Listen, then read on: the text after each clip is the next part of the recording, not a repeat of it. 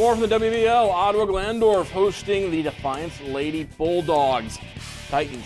Kristen Miller spins, finds Stephanie Hempfling for the bucket as Ottawa Glandorf takes the early lead. Defiance answers as Gabby Lamb gets the floater to fall as Bulldogs get on the board. Titans go inside. Alyssa Ellerbrock drives hard. Somehow gets the shot up and in. Titans just getting started. Erin Basinger dribbles to the right, pops the shot. Good for the junior. More from Basinger. Once again, finding room in the paint. Final score from Putnam County as Ottawa Glandorf, they had the lead. Do we have a final score?